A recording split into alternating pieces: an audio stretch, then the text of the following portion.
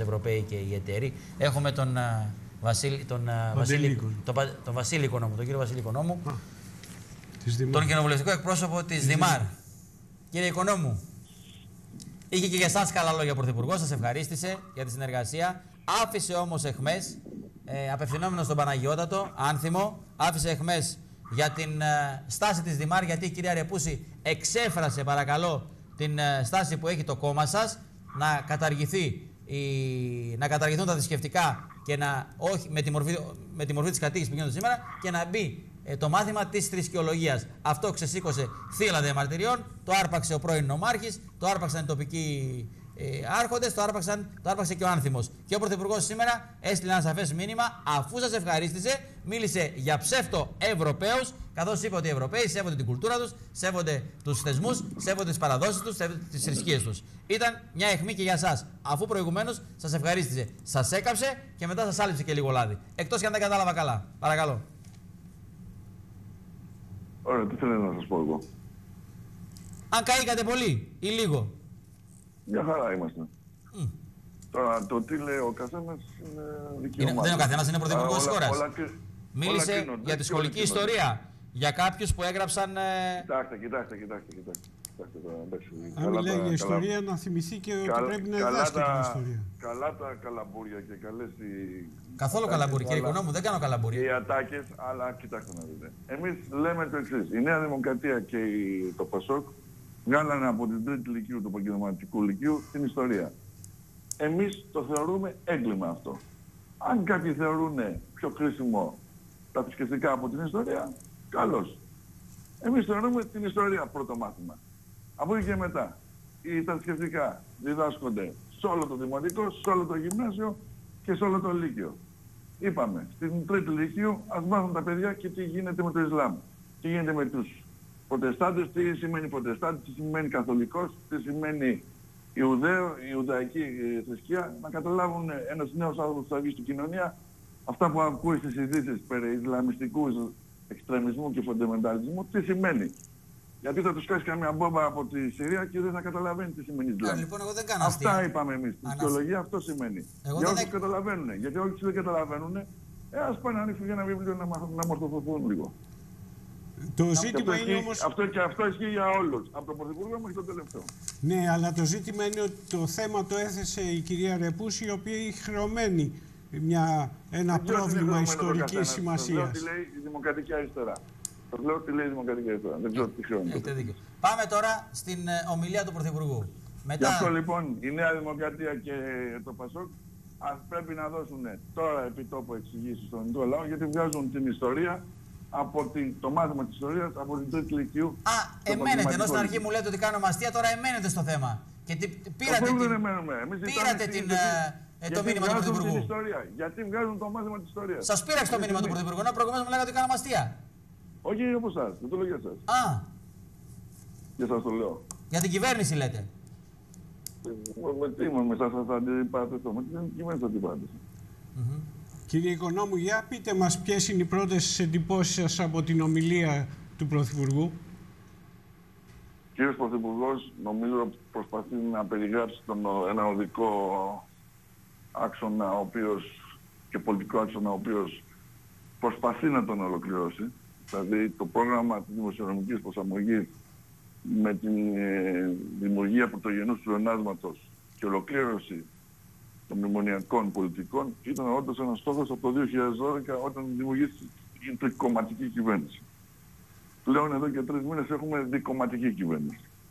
Παραμένει αυτός ο στόχος από ό,τι είπε και από ό,τι φάνηκε. Τώρα, τα πρωτογενή πλεονάσματα, για να καταλαβαίνει και ο κράτης είναι η δυνατότητα ενός κράτους με ίδια μέσα να συντηρεί τις δομές του και να πληρώνει τους ε, εργαζόμενους του, δηλαδή τους δημοσίους υπαλλήλους και τους συνταξιούχους. Αν αυτό μπορεί να το πετύχει ένα κράτος, σημαίνει ότι μπορεί να στέκεται στα πόδια του και πραγματικά τα χρέη του, τα συσσωρευμένα χρέη ετών, να μπορεί να τα, να τα διαπραγματευτεί. Θεωρείται γενικά ότι είναι ένα βιώσιμο χρέος αν έχει ένα κράτος. Ναι. Αυτό περιέγραψε ο κ. Σαμαράς. Εμείς πιστεύουμε το εξής. Ότι το πρωτογενές πλεόνασμα αυτή τη στιγμή φαίνεται λογιστικά να υπάρχει. Δεν ξέρω αν υπάρχει πραγματικά όμως. Δηλαδή, αν είναι δυνατόν, αν υπάρχει μάλλον αυτό το περίσσευμα και άρα η τροφοδότηση κεντρικού κρατικού προ, ε, προϋπολογισμού και μηχανισμού να γίνεται όχι γιατί δεν πληρώνουν το ΦΠΑ, την επιστροφή ΦΠΑ στις επιχειρήσεις που είναι υποχρέωση του κάτω που υπάρχει αυτή η επιστροφή. Όχι γιατί δεν πληρώνουν τον προμηθευτή στο νοσοκομείο ή στο ΝΕΟΠΗ ή στην οποιαδήποτε δημόσια υπηρεσία. Δηλαδή, αν κάνω ουσιαστική στάση πληρωμών που είχαμε το γεγονός, όπως όλοι το γνωρίζετε τα τελευταία χρόνια, που 7, 8, 10 δισεκατομμύρια υποχρεώσεις του ελληνικού κράτους δεν τις πλήρωνε για να εμφανίζει μια ισορροπία υποτίθεται στον προπολογισμό του. Αν αυτό και σήμερα συνεχίζεται, το πλεόνασμα είναι λογιστικό. Εμείς θεωρούμε ότι πρέπει να είναι πραγματικό για να, μπορεί να, είναι, για να μπορούμε να μπούμε σε μια πραγματική τροχιά ισορροπίας, σταθερότητας και από εκεί και πέρα ανάπτυξης. Είναι το ζητούμενο για τη δικιά μας πρόταση, μια νέα διαπραγμάτευση με την Τρόικα, με τον Ευρωπαϊκό Παράγοντα, που νομίζουμε ότι η κυβέρνηση του κ. Σαμαρά σήμερα δεν την κάνει και πολύ φοβόμαστε επειδή κάνετε και ένα σχόλιο σας άκουσα π.χ. για την αμυντική βιομηχανία δεν προτίθεται να κάνει. Δηλαδή, αν είναι για να εξασφαλίσει μια νέα χρηματοδότηση το καλοκαίρι του 2014 που ολοκληρώνεται αυτός ο κύκλος, να ξεπουληθούν οι αμυντικές βιομηχανίες. Να αποδιοργανωθεί πλήρως ο κατοικός συστός. Να πέσει κι άλλο το επίπεδο ζωής. Τότε δεν έχει αξία η επίτευξη αυτού του πρωτογενούς λονάγοντος και η συζήτηση ότι δεν είμαστε πλέον σε μνημόνιο.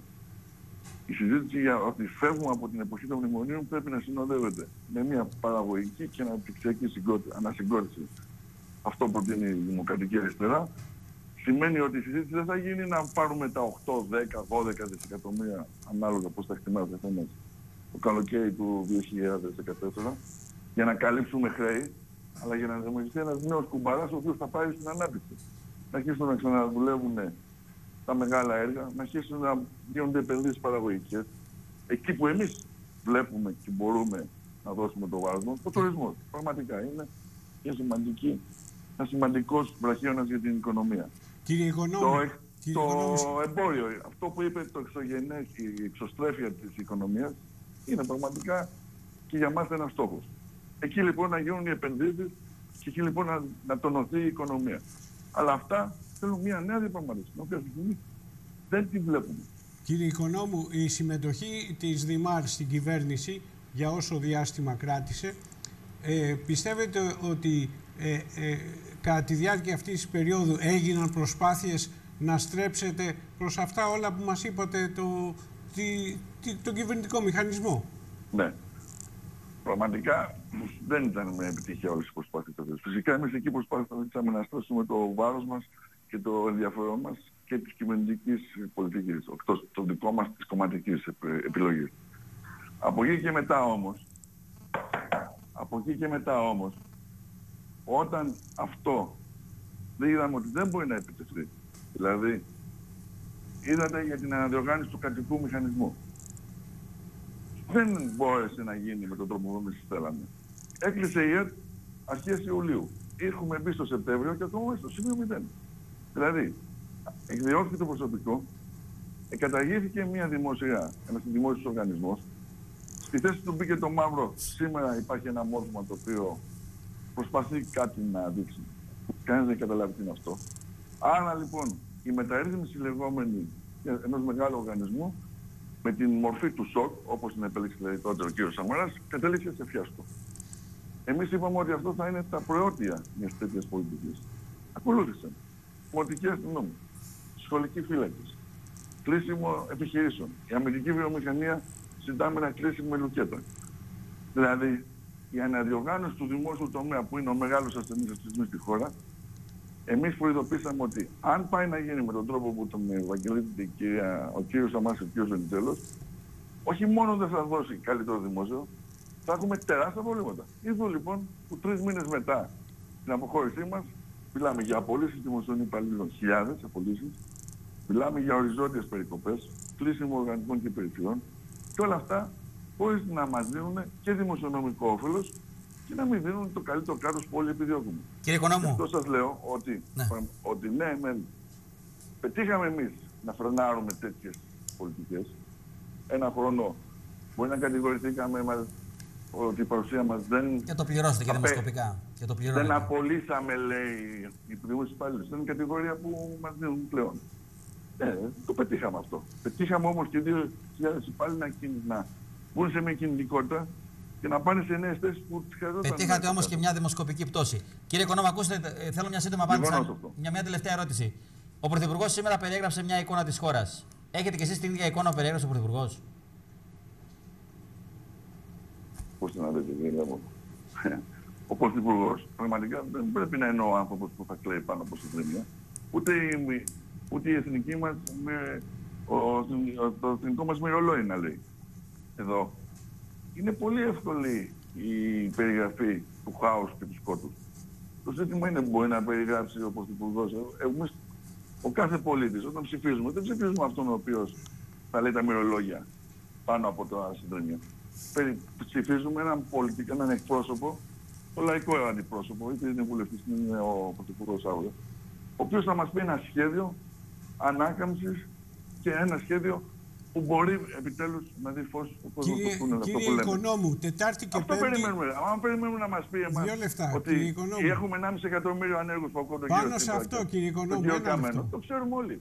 Κύριε Πώς Οικονόμου. Έναν τρόπο να μην έχουμε 1,5 εκατομμύριο ευρώ. Πάνω σε αυτό θέλω να σας κάνω μια ερώτηση. Ναι. Τετάρτη και Πέμπτη ο πρόεδρος της Δημάρα, ο κύριος Φώτης Κουβέλης, θα πάει στη ΔΕΘ. Έχει να Τετάρτη μας και κάνει κάποια πρόταση. Βέβαια, την πρόταση αυτή Αυτό που λέτε, θα, την, αυτό που λέτε. θα την εκθέσει αυτή την πρόταση και αύριο στον κ. τύπου, αλλά ειδικά την Πέμπτη στη συνέντευξη τύπου που θα δώσει, θα περιγράψει την πρόταση της Δημοκρατικής Αριστεράς, πώς εμείς πιστεύουμε πρέπει να γίνει μια νέα διαπραγμάτευση με την Ευρώπη, μέσα στην Ευρώπη, χωρίς να φύγουμε το ευρώ, αλλά και με μια νέα ανασυγκρότηση παραγωγική και αναπτυξιακή της χώρας και κοινωνική. Νέες αλλαγές στους θεσμούς της χώρας και νέες αλλαγές στην κρατική ε, λειτουργία της χώρας. Αυτό θα είναι η πρότασή μας που θα κάνουμε.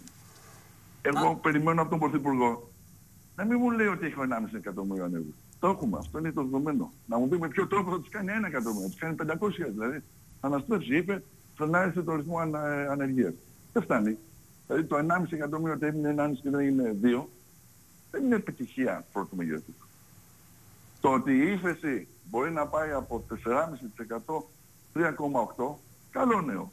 Παραμένει ύφεση όμως, προσέξτε.